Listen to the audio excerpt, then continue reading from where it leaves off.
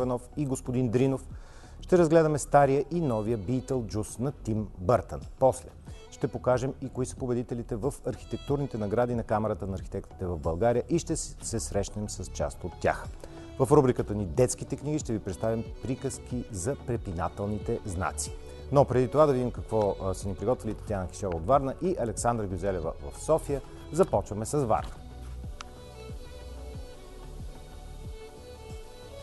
Здравейте и от нас. Само след няколко минути ще ви разкажем за началото на филмовият фестивал Златна роза и за неговата съпътстваща програма. Ние се намираме на улица Преслав 12 във Варна, където ще протече част от нея. Къщата, в която сме е паметник на културата, а моите събеседници Кремена Димитрова от Националният филмов център и Деян Статулов, автор на книгата Между два кадъра, ще ни разкажат повече.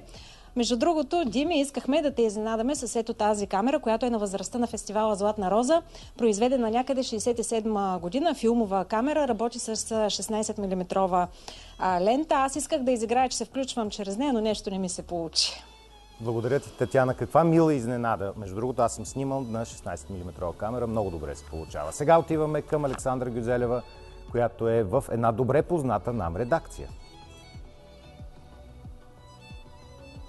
Да, привет Дими, списание Култура, новия септемврийски брой. Тук пък може да се, в него да се прочете резюме на Бождар Манов за фестивала, кино, извинете, кинофестивала в Карлови Вари, който беше през лятото. И още много зачетане, много интересни разговори и интервюта в новия брой разговор посветен на венецианския търговец и човечеството, на един белоруски по происход диригент, който работи в Европа и Украина. Но за всички тези акценти ще си говорим малко по-късно с Тони Николов и разбира се за основната тема на броя, която е посветена на 9 септември, 80 години от тази дата, няма как да не бъде отбелязана и от списания Култура.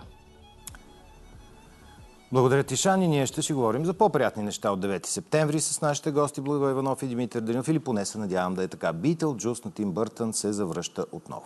Ще си говорим, да, за този бил екзорсист, като първо ще говорим за първия филм, естествено, за да можем да проследим цялата логика на този франчайз, който е франчайз отдавна, тъй като Битъл Джус е последван от анимационни сериали, игри, а, първият филм, който излиза през 1988 година е може би първото пълнометражно нещо, което затвърждава Тим Бъртън. Преди това той прави Pee-wee Adventure, който е успешен филм, но не е толкова Бъртънов, колкото всъщност Beetlejuice е.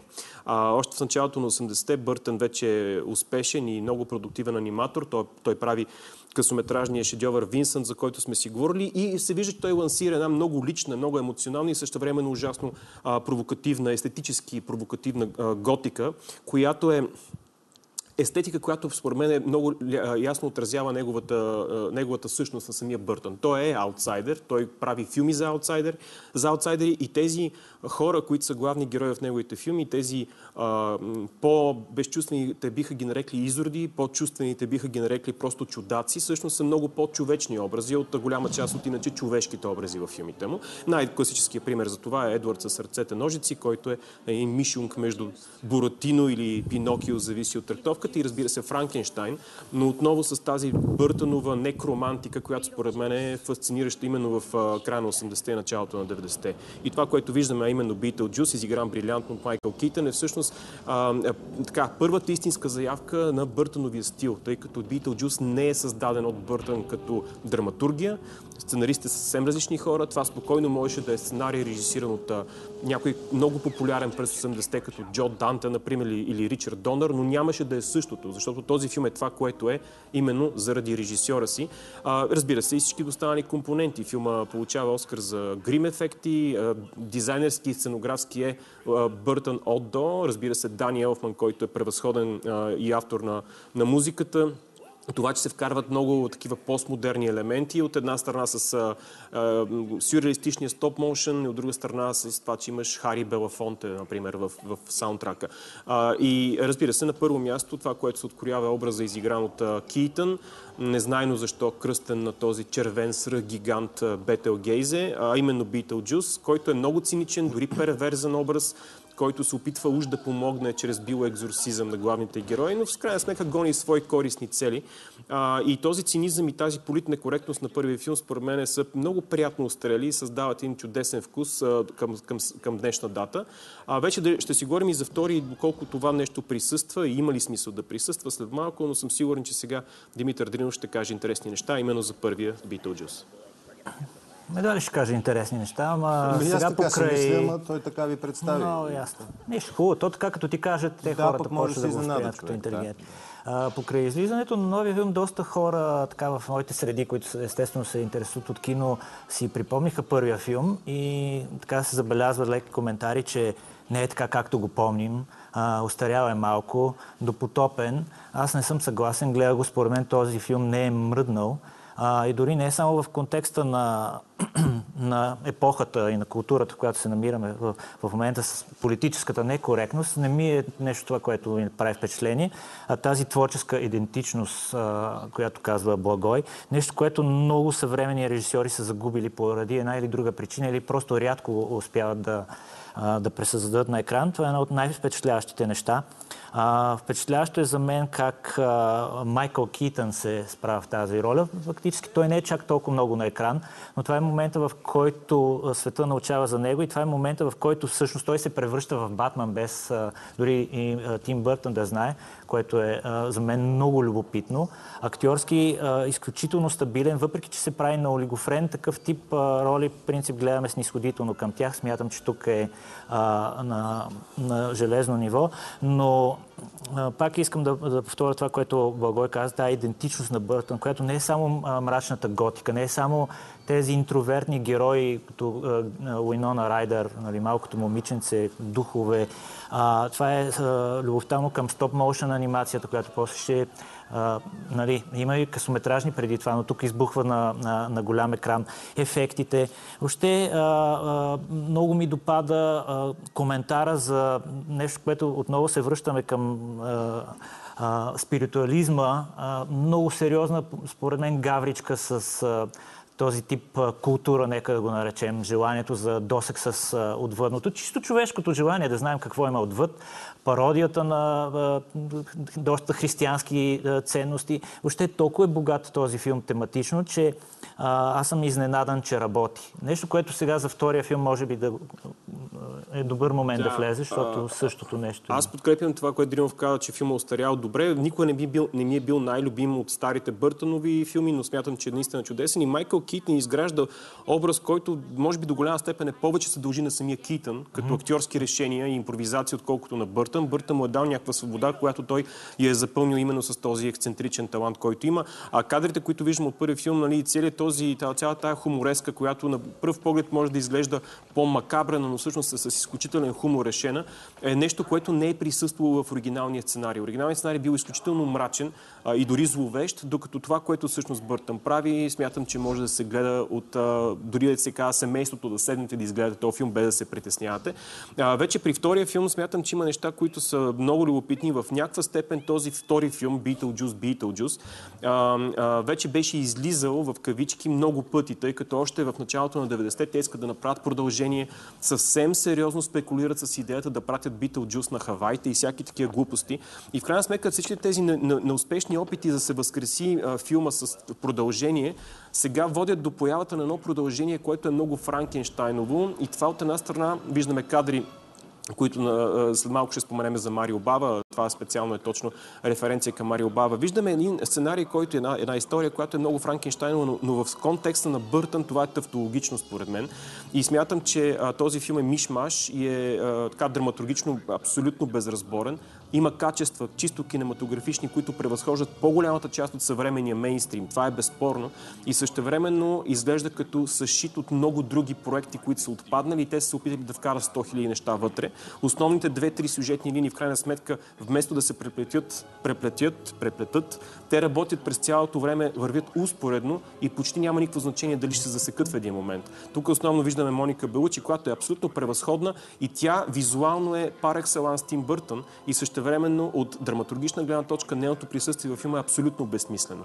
От друга страна обаче може да видим в съвременен филм тази референция към Марио Бава, както споменах. Това е референция към един филм, който се казва Black Sunday, Той е част от италианското готическо кино. То започва в края на 50-те и през 60-те основно. Black Sunday е филм, който излиза през 1960-та и много неправилно беше посочено от някой български а, ревюиращ някъде, че тази референция е към джало киното на Италия всъщност е тотално невярно. Това е референция именно към готическата част от филмографията на Бава, което е много важно в контекста на самата филмография на Бъртън и на неговите собствени вдъхновения. Смятам, че това е едно от наистина сполучливите неща във филма, но ви, за съжаление, той беше абсолютно така, а, както казах, безразборен и в крайна сметка не доведе до интересен истински залог в а, сюжета си и в естетиката си. Освен това, Баба е споменат поименно да. в по-късна част на филма с друг негов шедьовър. Аз се му викам Пусикет. Кил, кил, как се казва, ако сещаш? Сещам се, да. Няма значение. Да. Филма, в който тя е бременна. Това е един от най-ранните филми, които Тим Бъртън гледа на кино и се вдъхновява. Да, подписвам се по това, което каза Благой. И искам да кажа, че не е точно така визуалния мишмаш. Отново имаме сцени, стоп-моушен анимация. Отново имаме всички неща, които присъстват и в първия филм. Тук на моменти се така леко самоцелно, може би, влизат с музикалния номер. Има отново отново тематично разнообразие, отново има поклон към 150 хиляди неща от изкуството, които Тим Бъртън харесва, само че на сценарно ниво, този мишмаш, който Благой каза, е а, нещо, което спъва филма да бъде наистина страхотен. А, не само, че а, двете основни сюжетни линии вървят паралелно и не се пресичат, а, сами по себе си, ако махнеш част от а, героите, филма, основната тема и идея ще си остане, нищо няма да се промени. И не само, че има такива а, а, ненужни герои в, в, в филма, а тяхното екранно време е удължено до, до не, не знам, до крайен предел, от което няма нужда. Въпреки, че са страхотни Уилям Дефо е уникален. Аз на, на всяка поява на Уилям Дефо се смях, но то, то е едно и също нещо повторено 16 пъти. Ти накрая си, добре, дайте нещо ново. С а, а, бащата, но да не влизаме в конкретни подробности. Наистина има недоразвити линии, не се пресичат, героите са. А, аз това, което искам да спомена за, за зрителите е, че въпреки недостатъците на, на този филм, а, се забавлявах. Нещо, което не очаквах. Отидох и ми беше забавно, прекарах си хубаво в киното, може би това е била а, и тяхната идея, но а, мисля, че този филм става жертва на това, че са им позволили да правят каквото си искат. Ние често даваме, за пример, режисьори, които нямат творческата свобода, но тук са им дали прекалено много и не е имало така, един контрол, който винаги е полезен и е станало това Франкенштайново чудовище с прекрасни референции, с прекрасни отново изпълнения, част от екипа, но в крайна сметка цялото е леко изпуснато от контрол. Да, същото с бели конци и буквално и преносно. А, само една малка скоба. Аз бях забравил, понеже си припомних а, новия Beetlejuice, т.е. стария малко преди новия, бях забравил, че абсолютната легенда на телевизията, а, да. yes, Дик Кавът играе в първия филм с малка роля, а пък във втория имаме малка роля на Дани Дебито, която е страшно култова. А, това, което Дринов каза за творческата идентичност е много важно, защото Beetlejuice е, втория Beetlejuice е добър пример за тази лоша тенденция да се възкресяват стари неща, да се капитализира върху носталгията но в крайна сметка тези реанимирани поп-културни артефакти по никакъв начин не успяват да вдъхнат и живот, и идентичност към, към съвременна дата, към съвременни режисьори. Дори както е в случая с Бъртън. Един от най-добрите примери е пришелецът Ромо, който излезе преди около месец, месец и нещо, който хората автоматично казаха, ма той е страхотен. Всъщност той е пълен с точно тези проблеми. Тази отново а, а, опита да се съшият страшно много компоненти и да се направи така наречения callback или на, на, нали, връщане към старото и от друга страна така наречения фен сервис. Ти се опитваш да угодиш на фенове от всички възможни поколения, нещо, което сякаш стартира с силата се пробужда, но ескалира много с филми като Ловци на духове, новите части, които са ужасни. И също време стигаме до тези филми, в които, а когато видиш някаква референция към нещо старо и любимо, ти в един момент започваш да, се, да реагираш като кучето на Павлов, да точиш лиги, защото звънецът ти е казал, да, да, това са кецовете на Елан Рипли, да, това е репликата на Елан Рипли, но всъщност филмът губи идентичност в опитите си да покаже старото и да го инкорпорира в новото миналото, което според мен е наистина тъжно. А са, а са се постарали историята да не повтаря Мота Мола първото, първи оригиналния филм. Има интересни хрумки с отношенията с Уинона Райдер и с нейната дъщеря. Наистина има, има хубав филм по, по това нещо, по цялата тази бъркотия. И нещо, което мен ме дразни допълнително в този род филми е какво се случва с героите, които ние сме израснали, които обичаме. Обикновено съсипват Индиана Джонс, съсипват нали, Хан Сол. Но ето тук имаме един женски образ, защото според мен героинята на... Моника Не, не, на Уинона Райдър. Тя е наистина, може би, така централният персонаж в първия филм. Свитото момиче с това да се идентифицира с отвъдното, защото не може да се впише в нормалния свят. Пораснала тя е точно копия на съвременните герои. Някакви ужасни пропаднали хора, има някакъв, нали, някаква кариера, но отношенията с децата са щупени, с семейството е щупено по някакъв начин. Нали, мотивирано е сюжетно, но пак имаме такъв образ, който е лишен от тази слава, нека така да кажем, на миналото. И очевидно хората не могат да пораснат и да имат деца и да са нормални и да общуват нормално с, с, с Тежки поколенията, думи. които... Тежки думи. Трябва да свършим. Едно изречение, това, че нещо е направено добре, не означава, че е непременно добро. Това изцяло въжи и за новия Тим Бъртън, и за новия Пришелец. Точно така е. Благодаря. Връщаме се при Александра Гюзелева. Дими, вече сме с Тони Николо. Ще говорим за многото културни събития. Септември, месец на културните събития, премиери, книги, изложби, но септември, 9 септември и месец на големи катаклизми поне за нашата на размисъл, история. Да, който започва наистина с 9 септември, но преди това сме Съединението и завършваме с независимостта. Един опит се опитахме да направим върху свръхидеологизацията на тази дата, някакъв опит за размисъл. Един разговор с Михаил Груев, известен историк, директор на Държавна агенция архиви.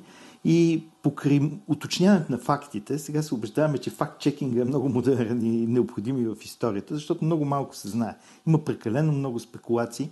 Тръгваме и от тази идея какво всъщност се случва на 9 септември какво представлява 9 септември. спомняме се през годините идеите за всенародно възстание, и разкази и филми по този тема, идеята за всъщност военния преврат, идеята въобще за някаква военна акция, която маскирана под е, така, идеята за ОФЕ и съвпадаща с нахудът на червената на армия, да не забравяме. Всичко това е едновременно, но и много разкази по-късно, ретроспективно. Затова беше важно едно свидетелство на писателя Константин Константинов. То, между е много малко известно. Защо? Разкажете тази Защото книгата Път през годините е любима на поколения с хубавия си език и така мнозина се откриват таланта на Константин Константинов да, да каже, че той е освен голям прозаик, известен и като преводач, Мадам Бувари и Малкия принц.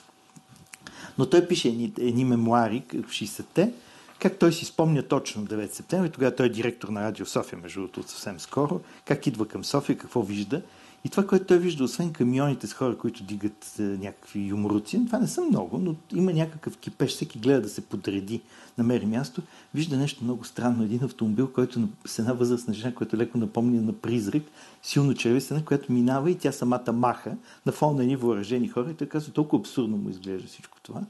Маската все пак говорим за един военен преврат, нали? за едно взимане на властта, даже без въоръжена съпротива. Така че това е важно като за разбирането на тази дата. Да, само да допълня страници, неизвестни страници от книгата Дарени от Валери Дарени Петров. от Валери Петров, издадени много по-късно, много малък тираж от Националната библиотека, така че сега нали, възможността точно този фрагмент за 9 септември да се появи, ми се струва, че е важно. И още един прочит или поглед към а, събитията на Димитър, Димитър Бочев. Бочев. И аз даже много благодаря писателя Димитър Бочев, защото тъй като той е роден август 44-та, мога да издам тази дата. Тогава ги наричаха връзници на свободата, тези, които са родени август-септември. Дълги години ги изкарваха на разни естради по разни събития, през погледа точно на едно детство, което е свръхидеологизирано непрекъснато. Към тази дата, към тази дата едва не всичко започва, като разговор за това, че помним стария герб на НРБ, където започваше, имаше едно 681, но историята завършва на 1944. Така беше затворена по някакъв начин. И писател, който поема пътя на емиграцията. Точно След това се завръща да, години да. по-късно в България. Снимката на корицата също е важна. Тази това, тема, за да минем към другите. Станимир Стоилов, това е една скулптурна група от 53-та на моста на граф Игнатиев в, в, така в забързаното всекидневие, може би малцина обръща внимание. Това е червоноармеца и партизанина. Большинството, което не обръща. Внимателно заснето от Николай Трема, ни показваме. Ето имаме още тоталитарно изкуство в София, на което не обръщаме внимание. То също така трябва да бъде експонирано, обяснено, може би, през телефон, през някакви табели за, за да. зрителите. Дайте да обърнем внимание на интервютата, които са на вашето списание с много интересни събеседници. Един разговор с Мишел Фуше, може би, да предложим на читателите. Ваше Гео, интервю. Геополитик, да, той дойде на едни европейски разговори, много важни. Те всяка година се правят в различен град в Европа. Тази година бяха в София. Гео Господинов участва на среща с писателите. Мишел Фуше е една звезда във Франция, бивш посланник, председател на Европейската геополитическа обсерватория, съветник на Митран, в момента съветник на Макрон. И той през географските карти в двойно качество, той е политически географ, обяснява какво може да случи. Обясненията на войната на Путин, как това е невъзможно да бъде прикорено по този начин границата, както той мисли, но най-сериозният аргумент, който ме накара да се замисля, е невъзможността. Той казва, дипломата и географа в мен си противоречат от гледна точка на двете, възможно за две държави, Палестина и Израел на най-съща територия. Тази географа казва, че това е невъзможно. Няма как, няма земя. Ще го прочета с интерес вашето интервю. А, културата, културната а, сцена, не че политиката не е култура, разбира се, тя е част от културата. Тя и в културата и в много политика. Да. Венецианският търговец подбуди много интерпретации. Между другото, професор Бойко Соколов казва, че има две българки, които са изследователки на Шекспир, и то с, световен мащаб. Професор Бойко Соколова преподава в университета на Нотр-Дам в Лондон години. Тя е издала една много голяма монография точно върху венецианския търговец. На английски, огромна интерпретации възможни и всички тези спорове за Шайло, които тя разказва, които изследва след Втората световна война, как се поставя, как се изважда еврейската тема, как се скрива еврейската тема, как сега, примерно, тя е социална, да кажем, тя е гледала постановка преди, около, малко преди а, нападението на Хамас срещу Израел. А, тя се казва Шейлок 1936 където изведнъж става въпрос, Шелок е жена, която гледа някаква дъщеря, нали, в квартали, там мистент има сблъсъци между, а, примерно, евреи и араби, а, нали, в смисъл това се политизира. Спомняме какви спорове имаше тук. Спомняме си споровете, които така тръгнаха около постановката на постановка, Ява Гърдев, да. по новия превод на Александър Шурбанов, нека кажем. И тя разказва как това се решава, как, как постепенно се измества центровете, включително има екологична тема в Шело, което ме изненада. Нали, младите, идеята за парите и идеята за пестенето на ресурсите. И въобще аргументи, които тя дава. Аз, например, не се бях замислил, че лихварството вече е било разрешено за християни по времето, което говорим на постановката на Шекспир.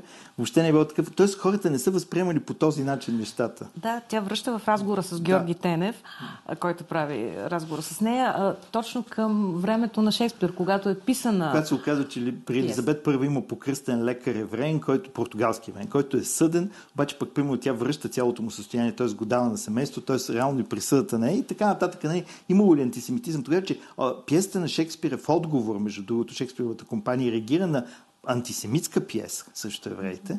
Така че това също е много интересно, много интересно което му се вменява, но не, това е част от историята. Тя обрасла с интерпретации. Но е хубаво да се знаят всичките. Да, е хубаво да се да. знаят и това е много важен гид към гледането на пиесата, между другото, този разговор. Да. Виталий Алексеенок, не съм тук сигурна как се произнася, от беларуски происход, предполагам, че така е ударението. диригент. Много интересна фигура, освен в музикалните среди и със своите политически позиции. Точно така, който има отношение към, въобще към тези тоталитарните режими в региона нали, и разбира се това, което се случва в Украина и това, което се случва при Лукашенко. Как разказва как той извежда хора, интелектуалци от, от Украина по време на войната, когато примерно танковете тръгваха към Киев. Голям ангажимент и размишление за това казва, че когато особено намират твърбина много известни украински композитори, но малко познати в Европа, хората плачат понякога в залите и как изведнъж се оказва, че музиката е тече една липсваща нишка, възстановява една липсваща нишка в интерпретацията на реалността. А и диригент, който е гостувал тук да, в, така, на, през юни месец. Да, да, да, така че това е едно специално интервю. Може би да препратим към литература Минесът К, Делиорман, една млада българска авторка, която обаче Делиорман е едно магично място за нея и то комбинация между две интервюта на Цветан Цветанов, едното, което е правено 3-4 години по-назад, което излиза книгата и сега, и как тя разказва, когато тя ги вижда по автогарите, същите тези хора, същите тези персонажи, легенди, градски истории, които тя събира. И виждаме как регионалната литература в България, това е много интересно, набира сила по този начин, с нови разкази. А, още в броя Анатолий Кръстев, всичко за Голяма челото. история за челото, с много концерти, с много успехи. Ми струва ми се един важен. Аз го разбира се, имаме много и за кино. Голяма музикална фамилия. Да, да, много А, голяма фамилия. Кръстев. Снимана вътре с историите, нали? Да, на прекъснах ви за киното. киното. Карло Вивар е един юбилейен фестивал. Пенко Господинов. Много, много, много, много текстове наистина в броя. И мен ми е трудно вече да изброя всичките. Еми, Ние не може да споменем всичко. Може би към киното да добавим един интересен текст за на българските филми, номинирани за студентски а, Оскари. И, и що е то, този студентски ами Ос- ние, Оскар? ние, много да, ние внимателно следим, особено късометражното кино. И тук трябва да похваля една група, млада група, която се казва Кинематограф. Ние сътрудничим с нея. И нещо, което много често, може би някои читателите на списание Култура пропускат да видят, има и QR кодове, което означава, че филмите, за които говорим, могат да бъдат гледани, штаркнати и гледани в реално време. Ето, още нещо от списание Култура. Разбира се, 80 страници. А, Нека нашите зрители сами потърсят останалите теми, разговори, критични текстове в броя. Добре, много ви благодаря. Следващия брой очакваме. Иван Хаджийски, 80 години от, смър... от смъртта му, кончета на бащата на българската социология, дискусии, неизвестни негови текстове, мисля, че трябва да бъде интересно. Добре, много ви благодаря. И аз благодаря. Дими към теб. Благодаря ти, Шани, и ние се надяваме тук да бъде интересно, защото сега ще си говорим за победителите в архитектурните награди на Камерата на архитектите в България, както и обещахме преди броени дни. А, при нас са Арне Емерсън, председател на журито за категория Нови проекти, архитект Андрей Ходкевич от екипа победител в категория Опазване на културно-историческото наследство, част от проектантски екип, работил по реконструкцията на централните хали. И разбира се, архитект М- Мартин Христо, заместник председател на Камерата на архитектите, който ще обобщи всичко случило, защото той е много повече от това, което казвам, а Стефан Стоянов ни помага с превода, за което му благодарим. Започваме с вас, Мартине, защото вие ще въведете в темата и нашите победители, участници, жури и всичко останало.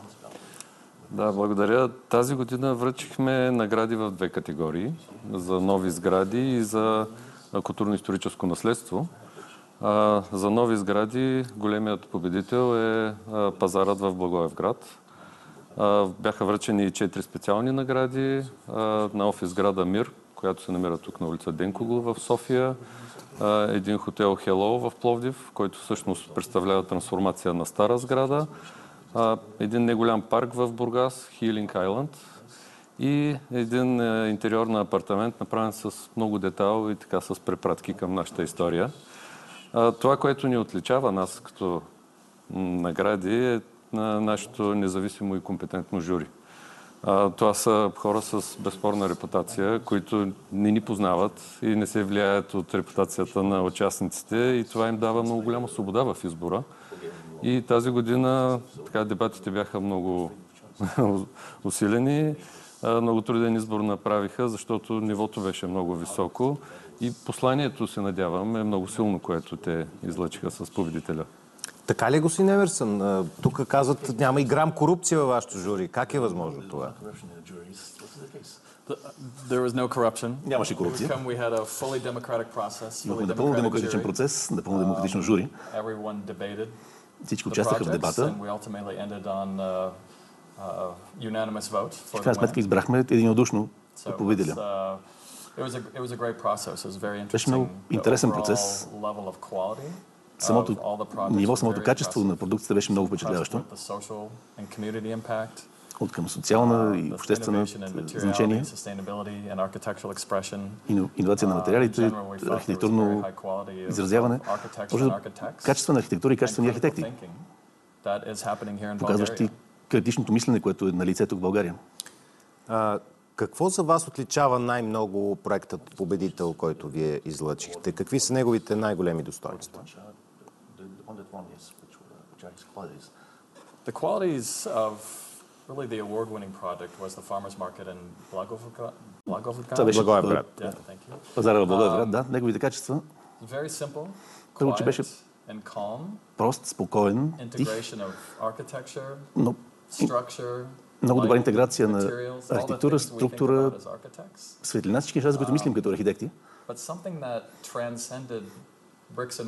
into Нещо, което отива отвъд тухлите и хоросана, всъщност социалното, социалния импакт на проекта. За мен и като нас за жури, това послание за социалното значение и за общественото значение на един проект е най-важното. Като архитекти, upon us to make an impact on the social Ние community and имаме нужда да, да имаме отражение върху града, we върху обществото. Това беше посланието, което искахме да предадем. Ние в България много обичаме да се сравняваме. Предполагам, че е присъщо на всяка по-малка държава с леки комплекси, които са натрупани във вековете. А, смятате ли, че тези български проекти са сравними с това, което се случва в архитектурата в момента в света? You know, I think um, in terms of comparing what's happening now in Bulgaria, Що what се we're отнася до seeing това да сравняваме какво виждаме в момента в България с това, което става в Европа и по света, was very impressed. аз бях много впечатлен. The projects are maybe in smaller scale, Продукцията е може би в по-малък мащаб, но нивото на критична мисъл, разбирането как тези проекти се отразяват върху един град, върху едно общество, самото ниво на съзидателност. Като архитекти всички сме създатели и Um, искаме да, се изразяваме. Дори самото ниво на съзидателност беше на много добро равнище. Бих казал, че в сравнението между социал, социалното отражение, архитектурното изразяване, нашия занаят, това, което ние правим и начинът, по който възприемаме и усещаме nothing е много сравнимо. Смисъл, че има от това, което виждам, в България има възможности и има надежда за... И бих искал да виждам много повече продукция от ваша страна. Прекрасни думи, за които съм искрено благодарен. Ще включи господин Хоткевич вече в разговора, защото тук ще си позволя и лека ин- интимност, господин Христо, защото още в първите дебати, когато започнаха за централните хали и когато всеки, кой разбира, кой не разбира, се хвърли да обяснява колко е лошо, как всичко ще бъде съсипано, без нито един да е видял проекта. И когато аз започнах серия от дебати тук в това студио, директно и това предизвика доста битка по пътя. Казах, че това е един великолепен проект и всичко, което се е чуло там нататък е абсолютно безмислено, грозно заяждане по принцип. И ето, това се случва, защото този проект има безспорни качества, които мисля, че вече цялото общество е единодушно по този въпрос. Не знам какво е вашето усещане на вашия екип. Нашето усещане е, че сме изключително горди от свършената работа и изключително благодарни, защото това си беше една отговорност от самото начало. Една много, много голяма отговорност а, и чест да се работи върху такава задача. Но при всички случаи, ако трябва да се върнем за периода, в който а, казахте, че е имало немалко дебати по темата, а, това е мига, в който искам да подчертая, че тази награда е изцяло посветена на архитект Поп Маркова и на нейния екип.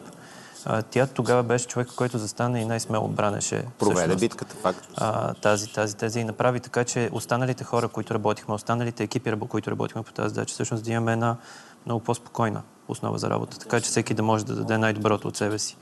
И ако трябва да дам едно кратко обобщение на процеса на работа, всъщност е точно това, че всички имаха възможността да дадат най-доброто от себе си в нея и това си пролича. Имахме много силен диалог, който накрая всъщност доведе до резултат, от който всички да сме доволни.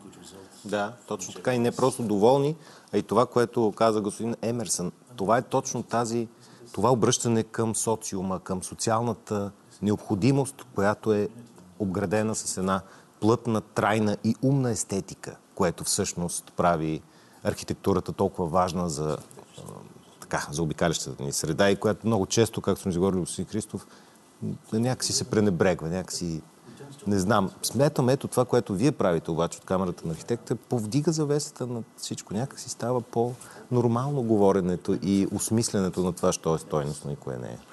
Ами, то, всъщност нашата основна цел за организирането на наградите е да покажем добрите примери на обществото, за да можем да възпитваме вкус към добрата архитектура. Тук искам да се върна за победителят в категорията за наследство.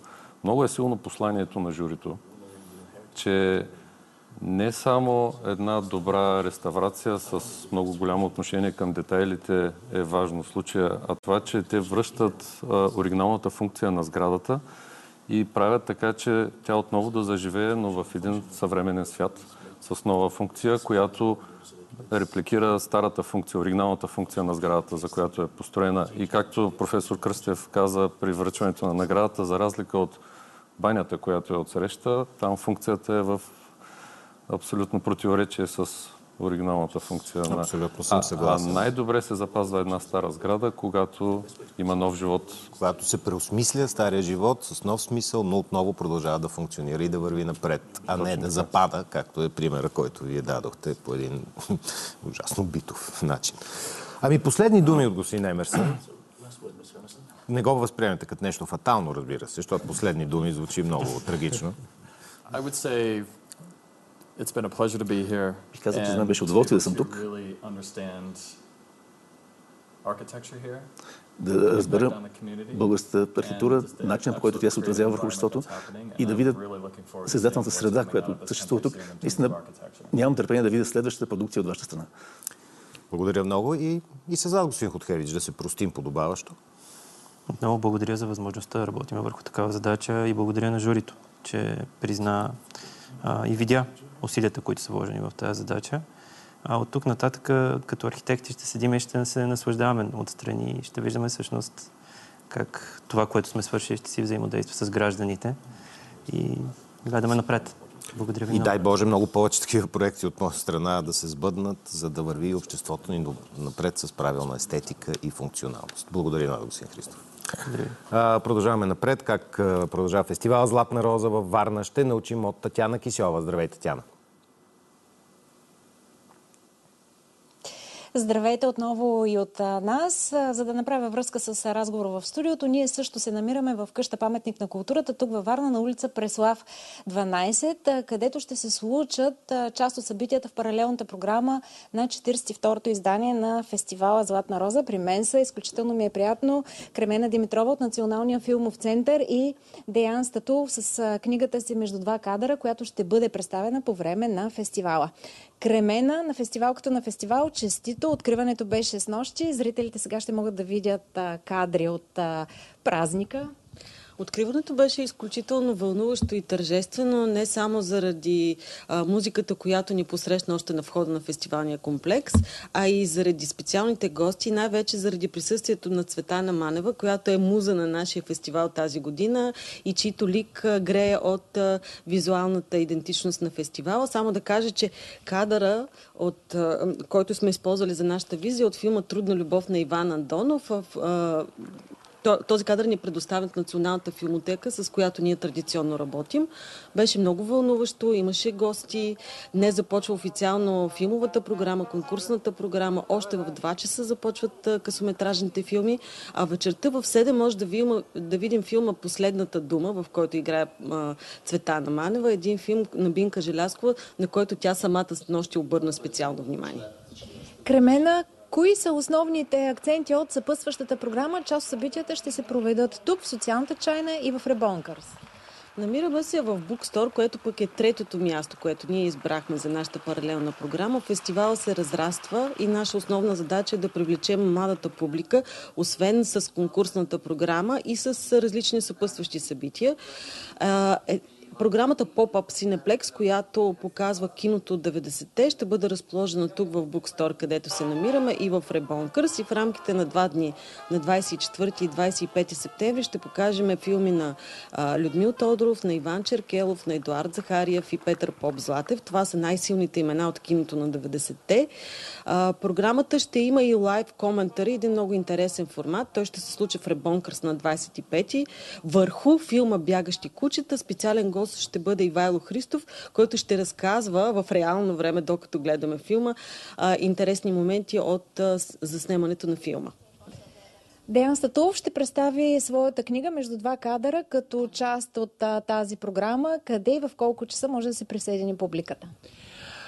публиката може да се присъедини на, в деня на, на независимостта на 22 септември, неделя от 18 часа в социалната чайна и сега възползвам се от това, което каза Кремена, че Ивайло Христов ще, ще представя, представя своя филм. Ивайло Христов е и герой, един от героите на, на книгата между два кадъра. Книга, в която са направени 51 разговор с различни творци на съвременното българско кино, актьори, режисьори, оператори. Тя е част първа, защото в следващата година, надявам се, живи и здрави, направя част втора, където ще поканя за разговор и колеги, свързани с, с музиката в киното, с художници, монтажисти, така, така колеги, които малко след по-в сянка на, на, на, българската, на българското кино, но разбира се ще има отново и актьори и режисьори. А част от героите на тази книга ще бъдат тук на фестивала Златна роза, защото имат свои филми да представят на, на, на фестивала. А, някои пък са и члена на журито. Например, а, Яна Титова или а, Стева Командарев, които са герои в книгата, са члена на журито. Така че има, а, освен, а, освен а, читателите, които да, да прочитат нашите разговори, ще могат някои от героите да ги видят на живо по време на фестивала. Да проявим великодушие тук от висотата на Варна и да кажем, че книгата ще бъде представена и в София. А, да, на 7 октомври, на 7 октомври в филмотечно кино Одеон от 18.30 ще бъде представена книгата и в София. Не са пренебегнати колегите в столицата. Кремена, споменахме журито. С нощ си председателят Захари Карабашлиев каза пред публиката, че в качеството му на журиращ, че всички филми са победители. Така е, всяка една номинация вече е награда. Битката ще бъде много спорвана в следващите три дни, в които ще гледаме филми от конкурсната програма, до следващото ни включване с вас. Ще видим едни от филмите, които се чакат цяла година и Варна ще има привилегията да ги види преди всички. И това е филма Триумф, в който участва Мария Бакалова и българското предложение за Оскар за чуждоязичен филм. Това е филма Безветрие, пък на Павел Веснаков, също един много чакан филм. И филма на Надежда Косова Клопка. Това са три филми, които аз лично горещо препоръчвам на варненската публика. Мисля, че все още има останали билети. Заповядайте. И да, да повторим за киното за ученици.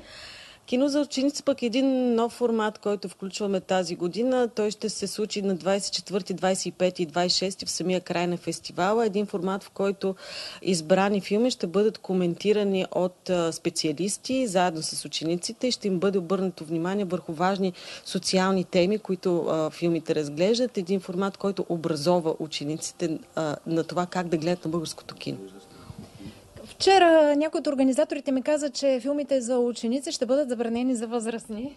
Закачка ли беше това? Разбира се, че е закачка. Естествено, че могат да дойдат и родителите на тези ученици, но особено внимание обръщаме нали, на подрастващата публика да дойде и да се срещне с българското кино. И за първи път тази година има награда за млади творци до 35 годишна възраст. Да, това е наградата на филм Автор, с която особено много се радваме да, да бъдем партньор на филм Автор, защото по този начин се дава шанс и видимост на младите в киното, защото няма какво да се лъжим, те идват след нас. Добре, следващото ни включване ще бъде на 20, пряко на 24 отново в предаването, така че тогава ще можем да кажем и за статуетката за младите зрители, които си представят Златната роза като типичната роза. Така е, статуетката е изключително красива. Тя е дело на Надя Розева, утвърден в международен план артист. Изключително красива е. Дидо каза миналата година, че е много тежка. Тая година сме опитали малко грамове смъкнахме от нея, за да е по-лесно подвижна, но тя символизира всичко това, което е златна роза. красота, финес и изящество. Благодаря ви за това участие. Книгата на Диан Статулов между два кадъра ще бъде представена на 22 от 18 часа в социалната чайна. А и за финал, един от филмите, който ще бъде представен по време на фестивала, който се казва Не затваряй очи, беше определен като първият игрален филм на православна тематика с сценарист Мартин Раучевски. Ще бъде излъчен също на 22 от 18 часа. Успях да го запиша за кратко. Вижте. Праведници в 21 век и в България? Вярата ми е Разколебан съм и не мога от сърце да се обърна към Бога за нея. Какво да очакваме от филма? Ами, вижте, филма е филм за вярата и любовта, но не просто шаблонно казано за някаква вяра и някаква любов, но вярата в Бога, въпреки и на всяка цена. Когато а, човек е изправен пред много голямо изпитание, много голяма болка лична а, и голямо сътресение вътре в семейството си, в него обикновено се отключват такива неща и такива сили, които той не е подозирал. Съвсем накратко казано, за това е филма. Да покаже, когато всички са против тебе и целият свят, и всичките ти близки, и всичките ти роднини, каква силна вяра има, в случая главният герой, отец Павел, противно на, ся, на всички очаквания, противно и на очакванията на зрителя, може би, и как той не се отказва въпреки всичко, въпреки всички факти.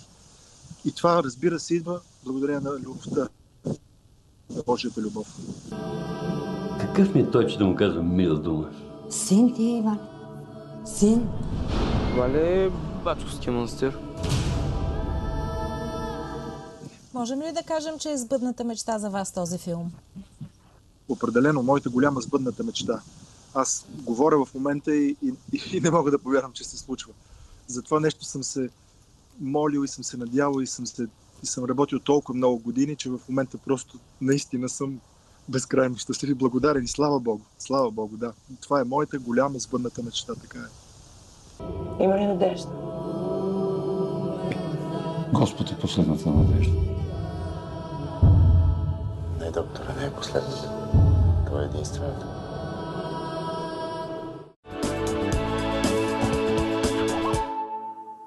Да, продължаваме с рубриката ни Детските книги, в която ви представяме новата книга Приказки за препинателните знаци.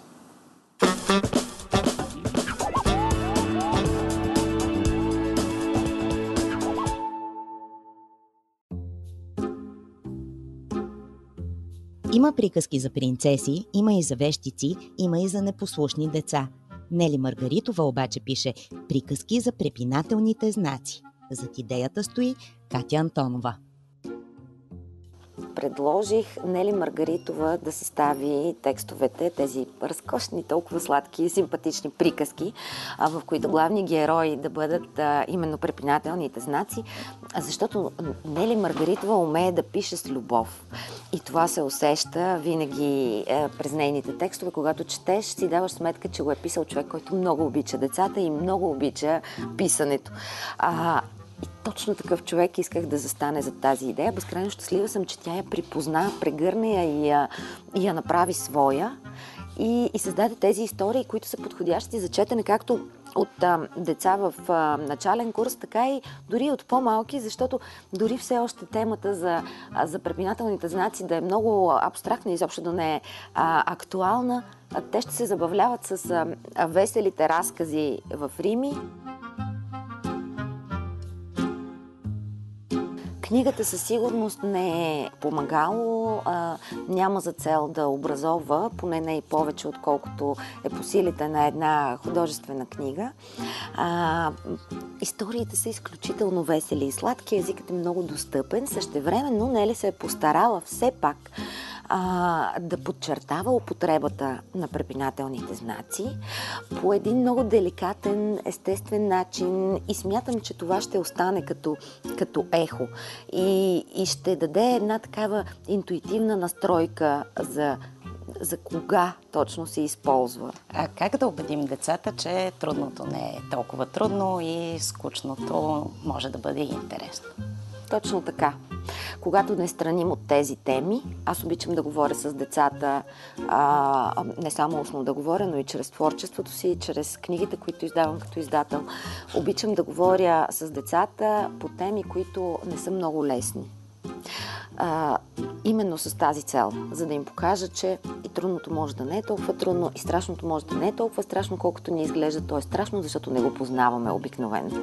И изключително важна част от а, почти всяка детска книга, кой е художникът. Много се радвам да представя художникът на тази, а, на тази чудесна книга, защото тя е пример за един млад и много талантлив човек и смятам, че е чудесно да виждаме такива примери.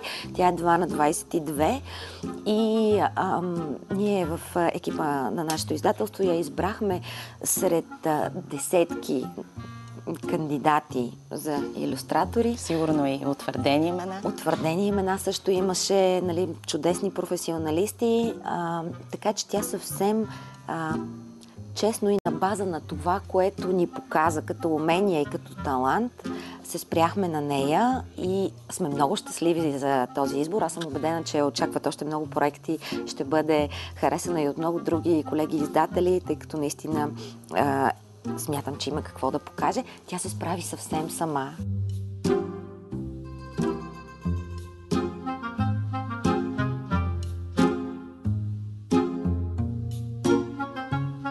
Имате ли вече любим герой от книгата и в момента какво ни рисувате?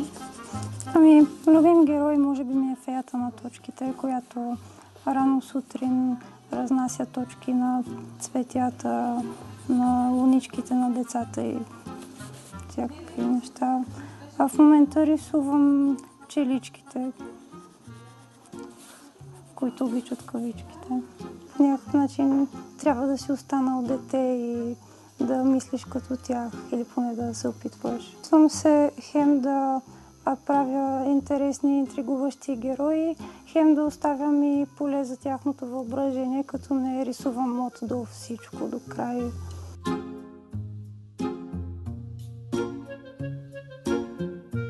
Да, учих в художествената академия, специално сценография. Сега ми предстои магистратура иллюстрация. Много е вълнуващо, аз изобщо не очаквах и бях много изненадана, че избраха мен и ми се довериха, макар и да нямам опит и да не съм иллюстрирала книга до сега.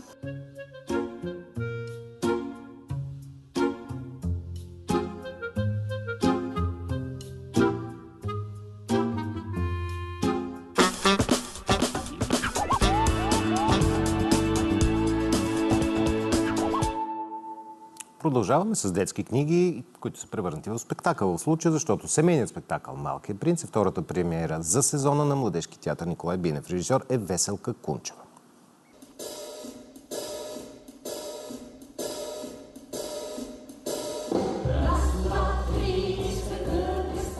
Решението ни да, да направим Малкият принц се роди още преди, мисля, две години, когато разговаряхме с директора на театъра.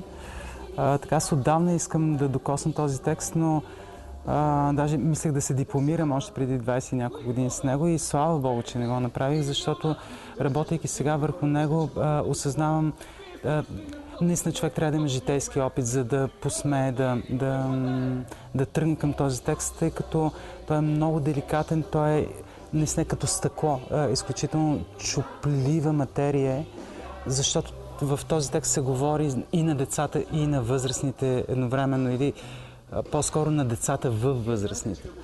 Така че за мен наистина възможността да направим всички заедно този текст е така, огромно предизвикателство и се надявам да сме се справили с, с него.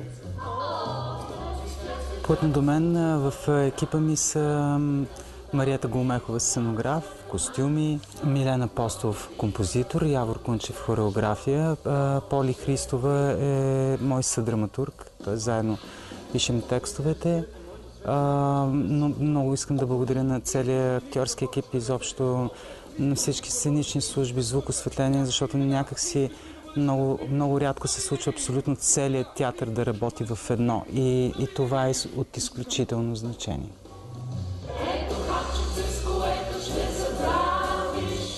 Специфичното е, че ние групово съпреживяваме текста и всеки, а, тръгвайки от общото, почва през неговата сфера, в случая моята на музиката, да, а, да, да търси това, което ние общо сме решили, че ни вълнува.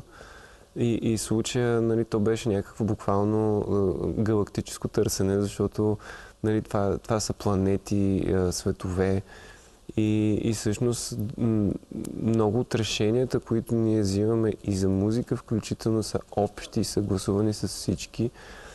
И това е най-красивото нещо всъщност, че никой не работи само синдикално, а, а някак си всички ставаме част от един общ поток. Говоря всички, освен творчески екип и актьорите. И това е нещо страшно красиво и а, мисля, че правдиво за малкия принц. Това е една много колективна работа и начинът по който ние подхождаме към този текст е много групов и а, подхода и въобще пътя към текст някак си тръгва от всички заедно като екип и вече всеки сам за себе си започва да открива коя струна му натиска малкия принц. А, относно това, нали, по какъв начин аз се преживявам а, тази приказка по някакъв начин. А, с една приятелка, колежка сме си говорили, че всъщност няма роля, която случайно да те намира. Тоест, има нещо много приятно в това да мислиш, че всичко, което ти се случва на сцената, ти казва нещо за теб самия. А, и в този смисъл а, любовта като много голяма тема, която стои в това нещо и то на ръба на божествената любов. Тоест не просто а, суетния начин, по който хората често понякога от болка, страх и незнание си я превеждаме, а тази, която е доста универсална и тя стои отвъд всичко. Силно се надявам да сме успели да, така, да, да, да наистина да отворим екзюпери някакси без, без да без да го нараним и да, го, и да, го, да дадем душата му на, на зрителите, които ще дойдат тази вечер.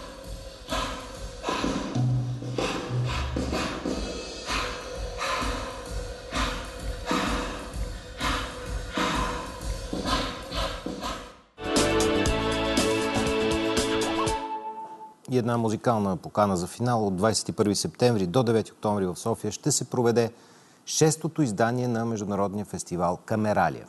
Откриването е с Ромео и Жулиета срещу уестсайска история, който можете да видите от 19.30 часа в Софийска градска художествена галерия, а програмата включва пет концерта. Това беше от нас за днес и тази седмица. Живот и здраве ще се видим в понеделника.